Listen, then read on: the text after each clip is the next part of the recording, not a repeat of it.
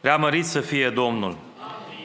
Dragii mei, în această dimineață aș vrea să continuăm pe linia subiectului care a fost predicat mai devreme și aș intitula mesajul Perseverența care îl impresionează pe Dumnezeu, dacă aș putea să o numesc astfel. Și aș vrea prin această încurajare să vă arăt că noi chiar nu știm cum trebuie să ne rugăm. Noi ne măgulim că știm și ne rugăm bine și facem ceea ce trebuie, dar după cum spune chiar Sfânta Scriptură, noi chiar nu știm cum trebuie să ne rugăm. Și rare ori se întâmplă că noi chiar ne rugăm în așa măsură încât să primim răspunsurile și binecuvântarea care o așteptăm din partea lui Dumnezeu. Ne măgulim cu faptul că dacă am luat o zi de post, ne-am rugat, am spus fraților să ne pună pe lista de cauze, ne-am făcut datoria și Dumnezeu acum ai dator să ne scape din greutate. Dar realitatea, dragii mei, este că noi nu știm cum trebuie să ne rugăm. Și vreau să vedem în viața acestei femei o experiență care nu știu câți dintre noi am fi rezistat să trecem prin ea. Fratele Dan, foarte frumos a expus până acum, mă reîntorc doar să trec prin câteva detalii care aș vrea să continuăm să le observăm împreună și să vedeți ce a însemnat experiența acestei femei și să ne punem noi în locul ei, să ne gândim dacă am fi rezistat până la capăt. În primul rând, dragii mei, ne spune Sfânta Scriptură că Vine Domnul Hristos în părțile Tirului și ale Sidonului. Mai devreme găsim scris în Matei, în capitolul 11, cu versetul 21. Vai de tine, Horazine, a zis el, vai de tine, Bețaido, căci dacă ar fi fost făcute în Tir și Sidon minunile care s-au, au fost făcute în voi, de mult s-ar fi pocăit cu sac și cenușă. Evident că în Tir și Sidon nu s-au făcut acele minuni și nu știm câte minuni s-au făcut în Tir și Sidon. Oamenii din zona aceea nu cunoșteau despre Hristos și nu cunoșteau ce valoare putea să aducă El. Dar îmi pun o întrebare mai profundă. În textul paralel acestui text din Marco, din capitolul 7, ni se dă un detaliu în plus care pe mine m-a cuprins și m-a uimit când am citit de mai multe ori această întâmplare. Marco 7 cu 24. Iisus a plecat de acolo și s-a dus în ținutul Tirului și al Sidonului. A intrat într-o casă și acum auziți, dorind să nu știe nimeni că este acolo, dar n-a putut să rămână ascuns, căci îndată o femeie. Dragii mei, pe mine m-a surprins aceasta. Gândiți-vă la context. Suntem într-o vreme când nu exista internet, nu exista Facebook și nu erau paparații să vină să-ți facă poza. N-au venit un câr de oameni după Isus bătând din top, a venit Isus Hristos, Domnul, vai de, haideți la El toți împreună. Nu. A intrat El cu ucenicii Lui, intrând într-o casă și spunându-le că nu vrea să știe absolut nimeni că este acolo. Nu faceți vâlvă, nu faceți gură, nu discutați, dar de altă parte, cine să știe de El? Ni se spune în Ioan, în capitolul 7, că frații Lui nu credeau în El și cei apropiați Lui remarcau ceva în El foarte interesant. În versetul 4 ni se spune, hai să în versetul 3 din Ioan 7. Frații lui i-au zis, pleacă de aici și du-te în Iudeea ca să vadă și ucenicii tăi lucrările pe care le faci. Nimeni nu face ceva nascuns când caută să se facă cunoscut. Dacă faci aceste lucrări, arată-te lumii. Adică ei spuneau, pe dacă vrei să fii vedetă, fă-te vedetă fă minuni, strigă pe stradă, să vină dos la tine, să te caute oamenii. Dar de câte ori vindeca Iisus pe cineva, repeta aceeași expresie, du-te și nu spune nimănuia, nu fă public această lucrare. Era o vreme care încă era îngăduită în care oamenii nu puteau să identifice concret. Apoi s-a strigat și s-a spus, el era Mântuitorul. Dar, dragii mei, gândiți-vă că intră el în Tir și în Sidon acești oameni care nu erau izraeliți, nu-L cunosc, acești oameni care n-au de-a face cu Isus, nu-L cunoșteau și nu i-a mers vestea până acolo încât să-L caute oamenii. Și pe mine mă surprinde că o femeie cananită, cum bine spunea fratele Dan, care mai mult ca sigur fiind cananită, se închina unor zei cananiți, avea Dumnezei ei, femeia aceasta îl caută și îl găsește pe Isus, care nu vroia să fie găsit de nimeni. Mai mult ce mă impresionează este că femeia aceasta îi spune, ai milă de mine, Doamne, fiul lui David. Noi citim de multe ori această expresie în Sfânta Scriptură, dar dacă nu înțelegem ce înseamnă, riscăm să trecem pe un detaliu deosebit de important. Expresia, sintagma fiului David era o expresie mesianică. În 2 Cronici, capitolul 7, dacă nu greșesc, se spunea că Dumnezeu, de pe tronul lui David, avea să ridice un moștenitor, a cărei împărăție va dăni veșnic. Era vorba despre Mesia. Expresia fiului David era o expresie mesianică care îi atribuia doar lui Mesia. Și femeia aceasta care nu era iudeică, care nu știa legea, care nu avea de-a face cu iudeii, care nu făcea parte din legământ, cunoaște expresia de Mesia, îi se adresează lui Isus, tu ești Mesia, tu ești Mântuitorul, tu ești ăla care face minuni, ai milă de mine. Mă impresionează profund. Și mă gândesc la noi, dragii mei, când avem câte o situație, o nevoie, apare o situație în familia noastră. Hai să ne rugăm împreună. Și ne rugăm, Doamne, milă de noi, amin. A, nu s-a făcut nicio minune. A. Hai să mergem la biserică. Fraților, rugați-vă pentru noi. Se roagă frații, nicio minune. Apoi înseamnă că poate nu e în voia Domnului. Și ne blocăm așa foarte ușor când dăm de o situație. Femeia aceasta, dragii mei, gândiți-vă că a avut de-a face cu un Iisus care nu vroia să fie găsit de ea. Sună interesant, că el pe toți a primit. Dar ni se spune în Biblia că nu vroia să-l găsească nimeni. Și a totuși l-a găsit. Sunt situații în viață, cum spunea fratele Dan, când se poate că Dumnezeu parcă e ascuns pentru noi. Parcă nu răspunde, parcă te rogi și nu simți că rugăciunea ta merge mai înalt de tavan. Nu pleacă undeva către cer și apar niște semne de întrebare, de îndoială. Oare chiar mă ascultă Dumnezeu? Oare chiar Dumnezeu cu mine? Oare chiar îi pasă de Dumnezeu de mine? Și te uiți la aceste situații și un pic inima ta se întristează. Continui să te rogi sau nu continui? Mă impresionează ce văd în viața acestei femei. Mergem la pasul doilea, cum se spunea mai, mai, mai devreme. Ajunge femeia aceasta să meargă la Isus, se aruncă înaintea lui, strigă la el și ucenicii lui îi spun, Doamne, dă drumul să plece de aici, ca, că strigă după noi, face o scenă prea mare, uite că se uite oamenii după noi, gândiți-vă că era în casă. Păi dacă deja înseamnă că oamenii se uitau, înseamnă că ceva s-a produs acolo. Dă-i drumul să plece de aici. Intervin ucenicii cumva, cumva să se scape de ea. Cum spunea fratele Dan, că e vorba să intervină pozitiv sau negativ în dreptul ei, au intervenit și ei. Și am putea asimui aici că vii la adunare și dai un bilet, se roage frații și te pune pe listă, se roagă frații și apar pe lista de rugăciune din când în când și te gândești, mă, s-o ruga și frații pentru mine. Și uite că nu s-a întâmplat absolut nimica. S-a rugat și biserica și nu s-a schimbat absolut nimica. S-a rugat și oamenii și nimica nu se schimbă. Oare Dumnezeu mă mai vede? Oare Dumnezeu mă mai aude? Oare Dumnezeu mai este cu mine? Și apar acele stări de, de frustrare care noi le avem. Dar păi cred că Dumnezeu m-a lăsat. Dar păi dacă Dumnezeu chiar era, păi dacă Dumnezeu chiar mă vedea pe mine și începem să cârtim. În ciuda acestei situații, când Iisus Hristos spune că El nu-i trimis la cei care sunt din afară, adică îi se spune clar în față, auzi, tu nu ești de-a noastră. Dacă erai de-a noastră, ți se ofereau acelea servicii spirituale care le deam și altora. Dar tu nu faci parte dintre noi. Tu nu ești iudaică. Tu n-ai certificat de, de cetățenie. Tu nu ești de-a noastră. Îmi pare foarte rău. Cu tine n-am de-a face.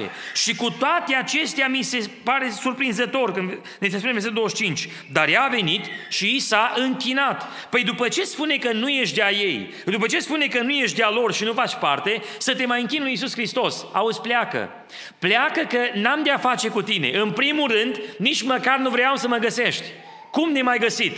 Nu a fost ziare, nu a fost Facebook, nu a fost pe WhatsApp pus pe Twitter, nu te că nu a venit nimeni să te trimite la noi. De unde mai găsit?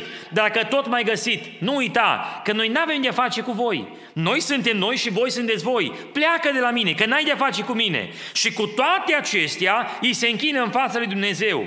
Și apar gânduri și stări, Doamne, dar oare totuși e adevărat? Eu poate n-am făcut îndeajuns, poate n-am postit că trebuia la vremea potrivită. O tot striga păstorul, hai la nopți de veche, hai la rugăciune, hai la post, eu am fost plecat. E adevărat, poate n-am fost cel mai sfânt. Dar, Doamne Dumnezeule, dar totuși, parcă aș vrea și eu să mă ajuți. Și apar gândurile, oare Dumnezeu se mai uită la mine? Și femeia aceasta îi se închină închină în fața Domnului Isus Hristos și cere personal, ajută-mi copilul, am o problemă și am nevoie de ajutor.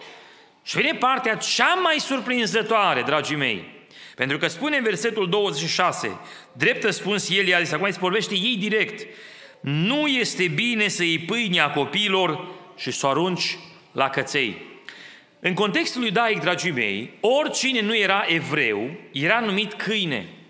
Neamurile, Gentiles, cum spune în limba engleză, erau numiți câini, așa erau văzuți ca niște câini. Așa era mentalitatea iudaică încât doar iudeii aveau drept la har, la viață, la moștenire, la binecuvântări și neamurile trebuiau contropite, nimicite și cu desăvârșire alungate din jurul lor. Aceasta era mentalitatea iudaică. De aceea în psalmul mesianic 22 ni se spune niște tauri din Basan, niște câini mă înconjoară. Câini erau neamurile. Era un, o expresie vulgară, dacă vreți, jignitoare pentru cei din jur. Și Isus face apel la sintagma vremii. Auzi, Noi suntem evrei, noi suntem copiii lui Dumnezeu. La evrei trimite Dumnezeu binecuvântarea. Căței de afară, neamurile, N-au de-a face cu binecuvântările. Voi nu faceți parte din planul de binecuvântare a lui Dumnezeu. Și răspunsul acestei femei, dragii mei, este cel mai surprinzător. Că să veni tu la Iisus Hristos și să spune Dumnezeu, auzi, tu nu ești cum trebuie. Tu nu ești cum ar trebui să fii. Tu nu faci parte din categoria corectă. Nu ești lumesc, nu ești pocăi cum trebuie. Ai spus, da, Doamne, lasă-mă în pace. Dar dacă nu vrei să mă ajuți, de ce m-ai chemat la tine? Așa am fi gândit noi. Dar femeia aceasta are un răspuns extraordinar. Când îi spune Iisus Hristos că căței n-au parte la pâinea binecuvântării, ea spune, da, Doamne. Nu-l contrazice. În uh, Sfânta Scriptură vedem că la un moment dat intră Iisus Hristos într-o polemică cu iudeii. În Ioan, în capitolul 6, cu farisei din vremea aceea. Și intră ei în discuții și sunt foarte supărați pe ei, în Ioan, capitolul 8. Și auziți așa numai câteva din aceste expresii. Ni se spune în versetul 39, spuneau acum farisei, Tatăl nostru le-a răspuns, i-a răspuns ei este Avram. Iisus le-a zis, dacă ați fi copiii lui Avram, ați face faptele lui Avram. Mergem mai departe în versetul 41. Noi nu suntem copii născuți din curvie, avem un singur Tată pe Dumnezeu. Mergem mai departe, dacă ați fi din Dumnezeu, m-ați fi iubit, de aceea vă spun că tatăl vostru este diavolul. Mai departe, versetul 48, Iisus i-a răspuns, nu zicem noi bine când zicem că ești samaritian, că ai drac și mergem mai departe. Observați duelul, dragii mei. Iisus îi confruntă pe iudei. Păi voi aveți legămintele, voi aveți binecuvântarea, voi aveți promisiunile, voi ați primit de la Dumnezeu harul vieții și voi vă comportați ca niște oameni care nici măcar nu sunteți al lui Dumnezeu. Și ei își apără repede poziția. Stai un picuț, dar cum îndrăznești tu să te iei de noi? Dar știi că noi suntem iudei? Știi că tata nostru e Abraham? Știi că noi suntem din seminția lucutare? Dar cum îndrăznești să te iei de noi? Faceți abstracție de situație, gândiți-vă la noi. Dar cum îmi spui tu mie așa ceva? Știi că eu sunt membru în biserica asta? Știi că eu m-am botezat? Știi că eu am fost la stăruință cu voi împreună? Știi că eu am dat bani la sărat? Știi că eu am făcut? Știi că eu am făcut? Dar cum îndrăzniți să-mi spuneți mie că auzi, eu sunt greșit, că eu nu sunt corect, că eu sunt păcătos? Dar cum ați îndrăznit? Și femeia aceasta nu intră în polemică. Doamne, e adevărat. Noi de afară suntem văzuți ca niște căței. Suntem văzuți ca niște oameni care nu avem drept în Israel. Așa este. Da, Doamne, așa să fie. Dar știi că tu lași binecuvântări și peste cei buni și peste cei răi? Tu te înduri de toți oamenii care vin la tine? Doamne, printre oamenii ăia mulți sunt și eu, un amărât care am nevoie de atingerea ta și de ajutorul tău. Și femeia aceasta persistă înainte lui Isus Hristos până Domnul, dacă vreți, cedează, o femeie, mare este credința ta. În Marcu ni se spune, pentru vorba aceasta, pentru că ai mers până la capăt, pentru că ai acceptat și ultimul statut. Pentru vorba aceasta, du-te acasă, fica ta s-a tămăduit. Cât de mult insiști înainte lui Dumnezeu când ai o situație și o nevoie. Ne-am obișnuit ca niște copii al lui Dumnezeu cu privilegii enorme să ne rugăm odată să mergem acasă să ne spălăm pe mâini că ne-am făcut datoria. Și acum Dumnezeu e dator să ne dea biruință. Dar știți că arta rugăciunii necesită, dragii mei, luptă? Necesită insistență? Necesită un fel de greutate, dacă vreți dumneavoastră? Nu este ușor să te rogi. Este nenatural în primul rând, dar mai mult să insiști, să stări în rugăciune, nu este ușor. Și noi spunem, o, oh, s-a schimbat Dumnezeu. O, oh, păi pe când eram noi, prin anul 1904, 40, să vezi atunci cum lucra Dumnezeu. Dar eu pun în întrebare, ce se întâmpla în biserică în 1940? Întrebați pe frații care sunt contemporani cu vremea aceea, ce însemna insistența unei biserici? Când într-o biserică apărea o situație, un caz, toată biserica intra în post și în rugăciune și de multe ori, pentru zile mai multe la oaltă, până Dumnezeu dădea biruință. Așa insistau frații în rugăciune. Dar eu m-am rugat, m-au pus frații pe listă, s-au dus ucenicii la Isus și au spus despre cazul meu. Acum, de ce nu lucrează Dumnezeu? Și te confruntă Duhul Sfânt. Știi că în viața încă mai sunt lucruri de îndreptat? Vii la ungere și te întreabă păstorul că așa este rânduiala. Ai ceva de mărturisit? Dar auzi, cum de mă acuz pe mine de așa ceva? Dar ce, ți-am greșit eu cu ceva? Mai văzut pe mine fiind un om ieșit din comun în biserică? Nu, dar este biblic să întreb. Dar de ce te iei de mine? Dar observați, dragii mei, că femeia aceasta spune, da, Doamne, eu am păcate, eu am probleme, eu nu sunt cum trebuie, dar vin la tine apelând la bunătate și la îndurarea ta. Cât de mult insiști în rugăciune înaintea lui Dumnezeu pentru cauza, nevoia, situația care o ai înaintea Domnului. Știți că Dumnezeu ascultă rugăciunea? Ne spune Sfântul Cuvânt că Dumnezeul nostru ascultă rugăciunea și de aceea toți oamenii vor veni la Dumnezeu. Dar noi am uitat că rugăciunea necesită o parte a stăruinței, dragii mei. Spunea Domnul Hristos în Ioan 16 cu 23, în ziua aceea, nu veți mă mai întreba nimic. Adevărat, adevărat vă spun că orice veți cere de la Tatăl în numele meu, vă va da. Observați, dragii mei, orice veți cere, în limba engleză, whatever you ask, orice, nu știu cum să spun în altă sintagmă expresia aceasta, orice, adică orice ai nevoie, că ți bolnav copilul acasă, că ai un copil nepocăit care nu te ascultă, că ai un soț care are probleme, că ai o, o soție care are nevoi spirituale, că sunt atâtea probleme care apar, nevoi financiare, orice îmi veți cere, Tatăl meu vă va da. Și o spun, m-am rugat. M-am rugat o dată, de două ori, m-am rugat cu familia, Dumnezeu nu lucrează. Pentru că am uitat ce înseamnă perseverența în rugăciune, dragii mei. Insistența, lupta în rugăciune până Dumnezeu dă biruința. Că Dumnezeul nostru își împlinește cuvântul, mărit să fie numele. Femeia aceasta a mers până la capăt, a aflat că Isus este în zonă. De unde să afle? Că nu era nici ziar, nici Facebook, n-aveai de unde afla. Atâta de mult a vrut să-l întâlnească, că la un moment dat a aflat că intră într-o casă, nevrând să știe nimeni, l-a găsit pe Isus Hristos. Când ajunge înaintea lui, Isus nu o bagă în seamă și insistă, ai milă, fiul lui David, recunosc că tu ești Dumnezeu, ajută-mă! Și el nu o bagă în seamă. Și te-ai rugat și Dumnezeu nu-ți răspunde. Și merge la cei care sunt în jurul lui și zice, mă, dă drumul să plece, că ne enervează. Măcar ori spune să plece, ori fă o minune. Nu vezi că stă după noi și se roagă biserica, Doamne, măcar pentru amărăciunea lui, dă-i biruință și vindecare. Și Dumnezeu nu intervine. Și omul ăsta nu se lasă și merge mai departe. Și o confrunte Dumnezeu.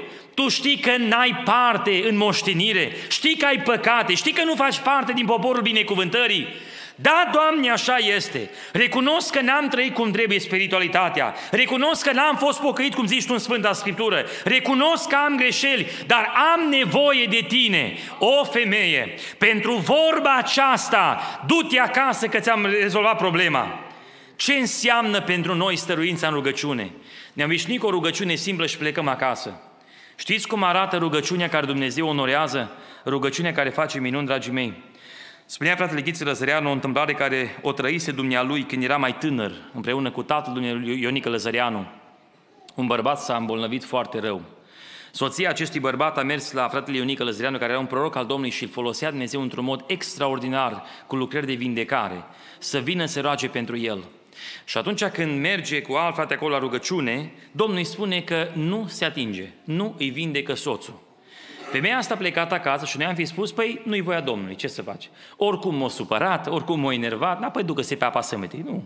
Femeia asta s-a dus acasă, dragii mei, și 18 zile, 1-8, 18 zile, o stat în post înaintea lui Dumnezeu să-i vindece Dumnezeu bărbatul. Când am postit eu ultima dată așa o zi, dar nu cum, ce, nu cum vrem noi așa, cum cere ziua, să stai în post o zi înainte lui Dumnezeu. Nu când te roade la stomac că vrei să mănânci un bagel, să mergi să cumperi ceva să mănânci. Nu să bei o cafeluță dimineața să nu te doare capul. Nu, dragii mei. O zi bună de post. Când am postit noi ultima dată așa cum trebuie înainte lui Dumnezeu? O zi, nu două, nu trei, o zi, o zi. Femeia asta 18 zile a stat în post înaintea lui Dumnezeu.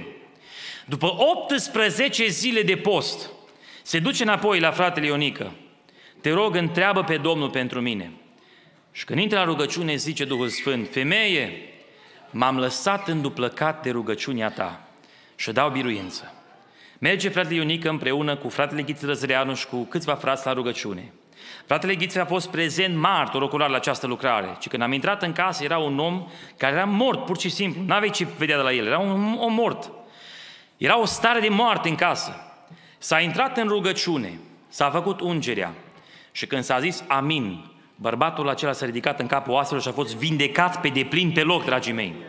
Și noi întrebăm unde sunt lucrările acelea. Păi tot aici, dragii mei, că Dumnezeu nu s-a schimbat. Dumnezeu e același ieri, și în veci mărit să fie numele. Dumnezeu lucrează, dragii mei. dar eu nu mă mai rog cum trebuie. Iertați-mă îndrăzneala, dumneavoastră nu vă mai rugați cum trebuie. Dacă ne-am rugat măcar ca și femeia aceasta, Doamne, nu mă las de Tine până mă binecuvântezi. Nu vreau astăzi. Astăzi nu dau vindecare. Doamne, nu astăzi. Mâine dacă nu, dar apoi mâine. Eu nu mă las până nu mă vindeci. Dar uite, s-a rugat biserica și nu s-a întâmplat nimic. Au insistat frații. Au luat ăia post și rugăciune pentru mine. Și tot nu m-am vindecat. Dar nu mă las. Dar nu mă las și mă confruntă Duhul Sfânt. Ai încă probleme în viață. E adevărat, Doamne, mă căiesc, mă pocăiesc. Eu sunt la recunosc, dar nu mă las până nu-mi dai biruință.